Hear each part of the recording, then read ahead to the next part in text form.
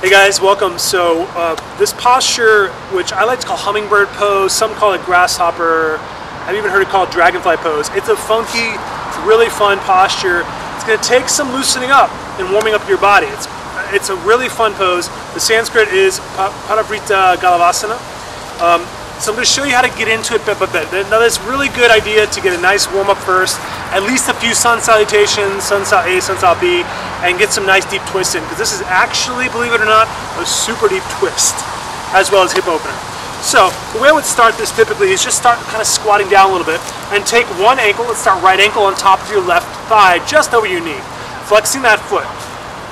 So you're basically getting kind of a standing pigeon effect here. You really want to open this knee away from your chest, so you're going to feel stretch in your outer hip.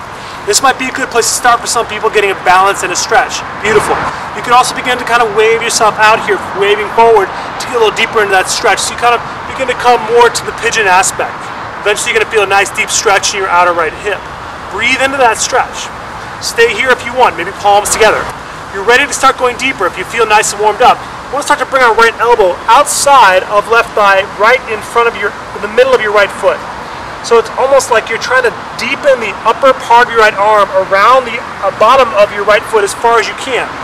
Keep squeezing it down there and feel that deep twisting as you do. So keep going around, getting uh, that foot as high as you can in your upper arm. Maybe you just stay here, palms together at your heart, and again, find your breath, find your balance. If you're ready to go deeper, again, we'll take our fingers to the floor about shoulder distance apart. You might bring them at an angle, but fingers facing the same direction. Begin to spread down to inner knuckles and let your butt sit down towards the floor a little bit.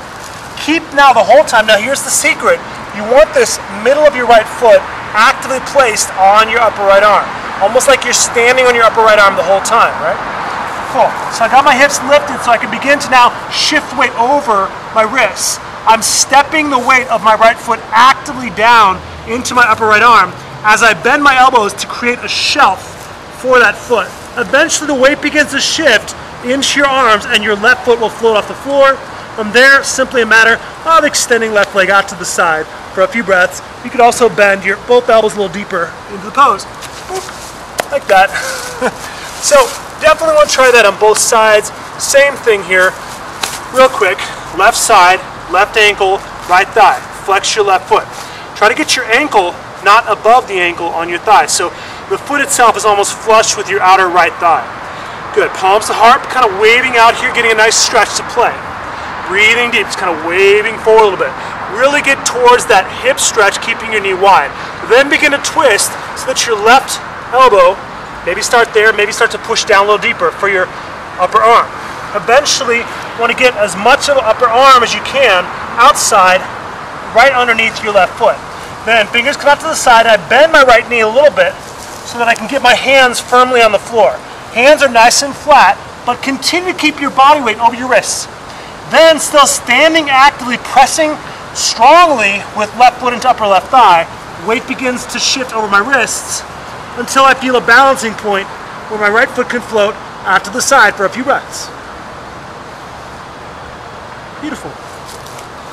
So start to play with it and remember, take your time. Don't give up. Go up to your edge and play there. Breathe into it. Playing with your edge is the secret and the way that you will begin to accomplish this in every pose. So enjoy.